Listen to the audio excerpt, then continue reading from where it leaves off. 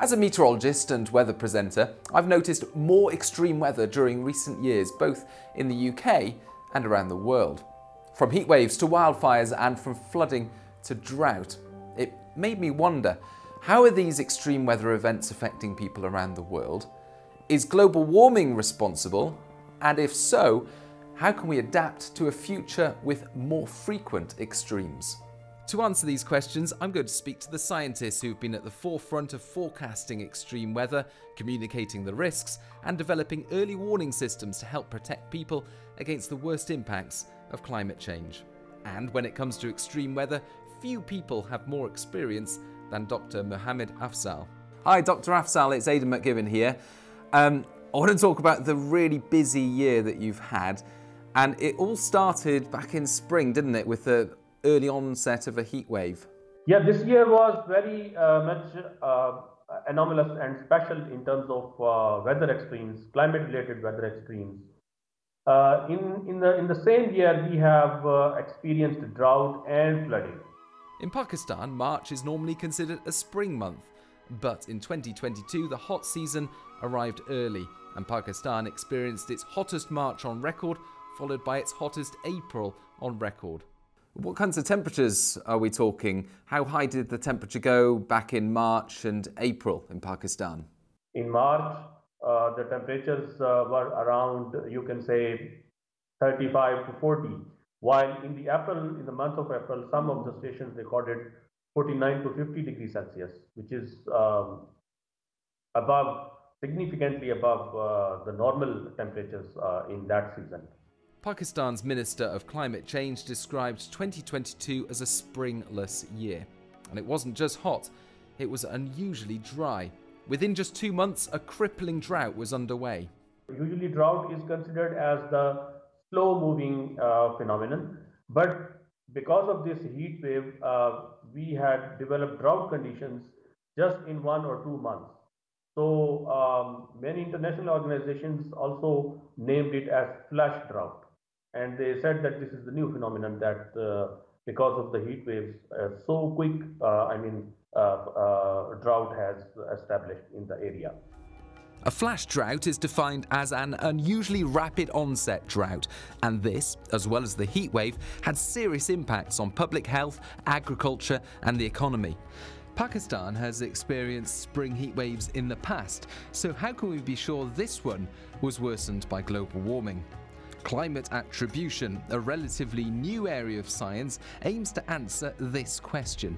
By using models to compare the climate in a pre industrial world with the present day, scientists can ascertain how climate change may have influenced the occurrence, frequency, and intensity of extreme events. Heat waves have become more intense and more frequent everywhere in the world because of human influence on the climate. So last year we saw these persistent heat wave in parts of India and Pakistan, and we estimate that the likelihood of this extreme event has increased by a factor of 100. And going forward, by the end of the century, we expect that this kind of extreme temperatures will become very common in that region, so we expect to see them almost every year and the event will no longer be considered an extreme. From flash droughts to flash floods, Pakistan's weather in 2022 lurched from one extreme to the other. From June to up to August and September, mid of September, we have received monsoon rainfall which is 175% above normal, above the normal of all Pakistan. The rains peaked in August when Pakistan received a deluge amounting to three times its typical rainfall that month. It was wettest in the south, where two provinces each received seven and eight times their usual August rainfall. Uh, 3,000 lives were lost and uh, millions of uh, houses were damaged. With more than a third of the country underwater, the Prime Minister of Pakistan described the floods as the worst in the country's history. Are floods like this becoming more common?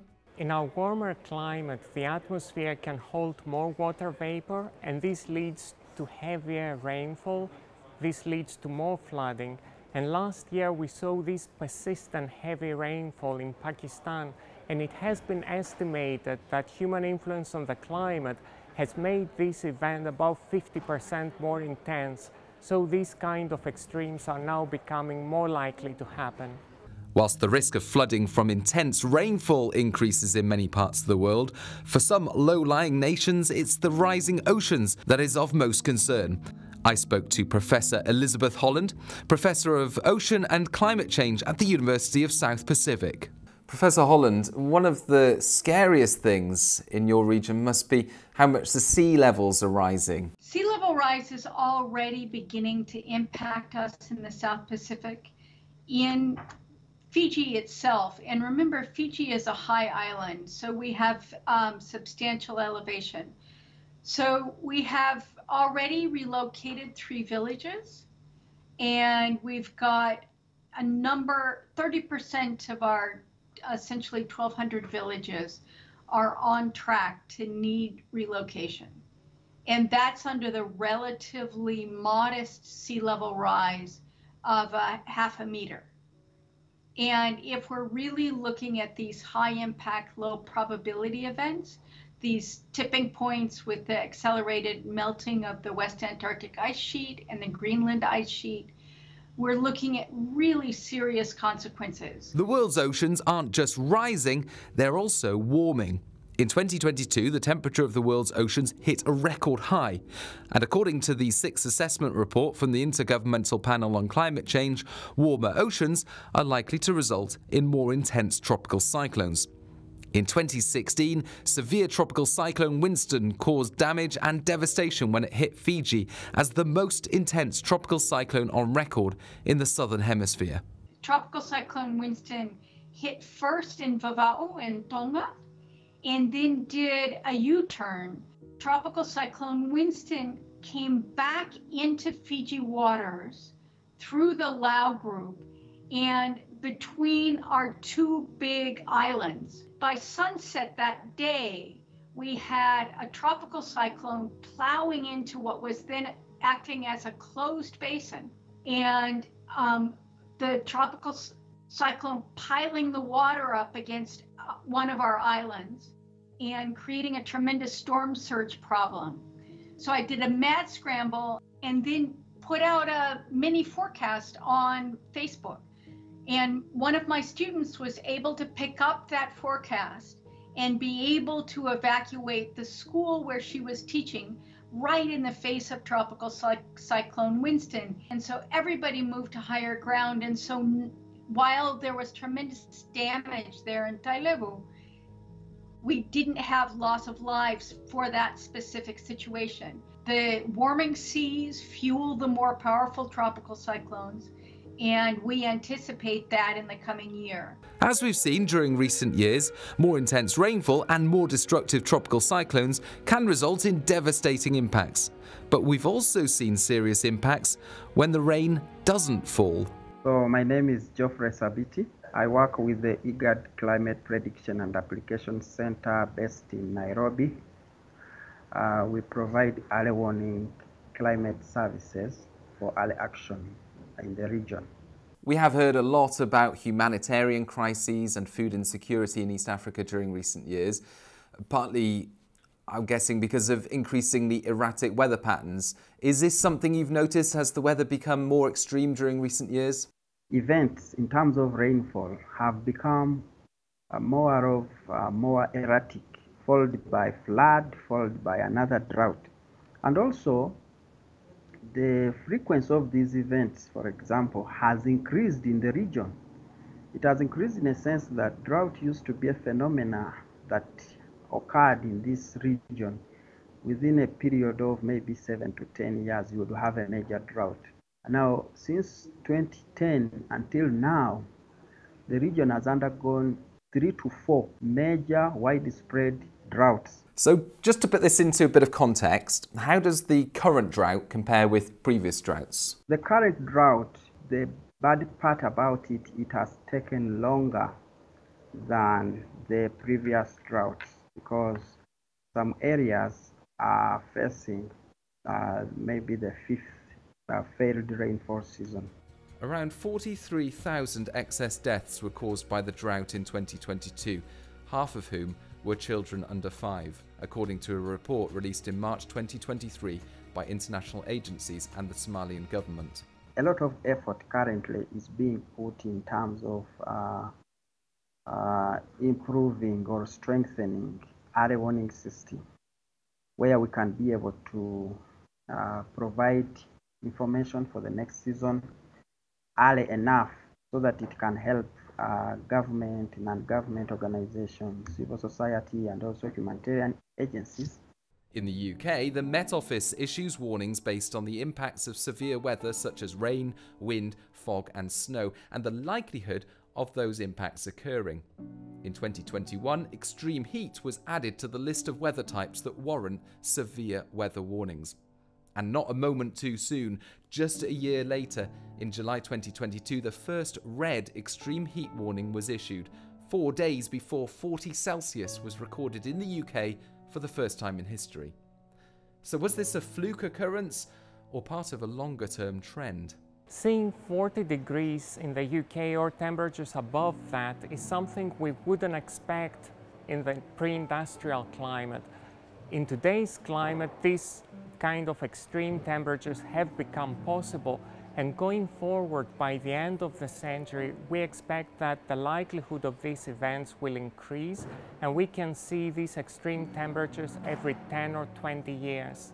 And once Pakistan has recovered from the extraordinary weather of 2022, the lessons they learn will be invaluable for dealing with future events like this. Uh, my name is Dr. Sardar Sarfraz. I'm Chief Meteorologist at Pakistan Meteorological Department uh, based in Karachi. Uh, you're a meteorologist, and I'm just wondering what you would say are the main challenges when it comes to forecasting and warning about extreme weather events, such as those that Pakistan experienced in 2022?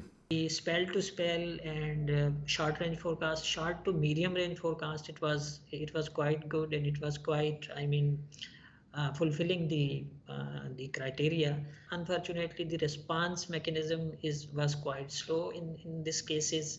So that's why this uh, heavy rains have produced a lot of flooding and uh, people were not ready on, on I mean the on public side and administration side and disaster managers managing side.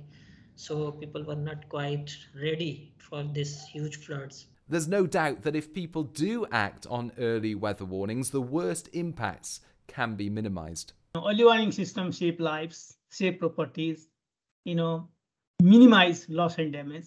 That's our experience. My name is Dharam Raj Upreti. I am the thematic lead climate and resilience working in practical action Nepal based in Kathmandu. I understand Nepal is particularly vulnerable to impacts from climate change. I want to hear about your community centered approach to adaptation. Understanding risk is really important. So developing of those adaptation plan means um, bringing together 2000 communities of different areas, different you know locations uh, on um, making them aware about climate risk. What is climate change? How climate change affect or could affect their you know lives, livelihoods, and uh, assets. National adaptation programs of action have been established by many countries around the world, but Nepal has gone a step further by adopting a framework for local adaptation plans for action since 2011.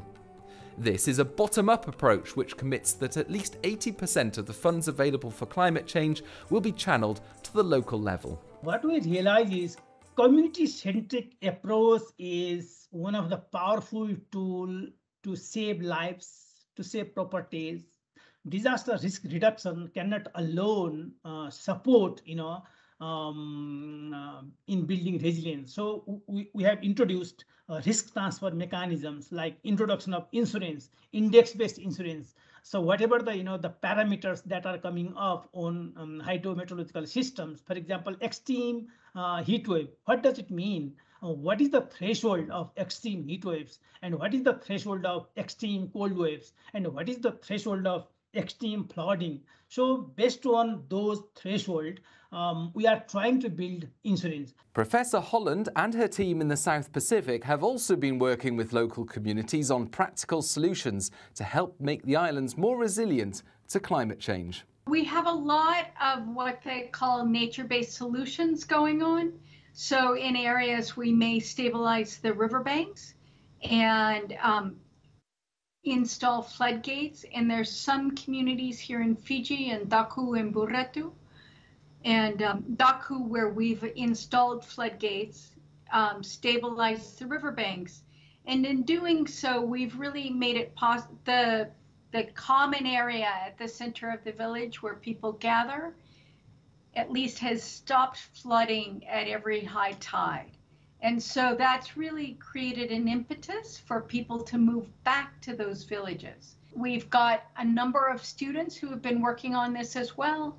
And it's wonderful to see the first generations of students that I um, help teach to rise to the to the levels of leadership. We've been working in more than 200 communities across the 16 countries, all working together to build resilience and to do the community to community support that is so critical for resilience. The science is clear. Climate change is causing more extreme weather around the world, often with devastating consequences. Even if we avoid the worst projections of global warming by rapidly cutting greenhouse gas emissions in the years to come, we will still need to adapt to a future with higher temperatures, melting ice, heavier rainfall and longer droughts. But for those working at the front line of weather and climate change, learning from previous experiences is crucial for building adaptation plans into the future.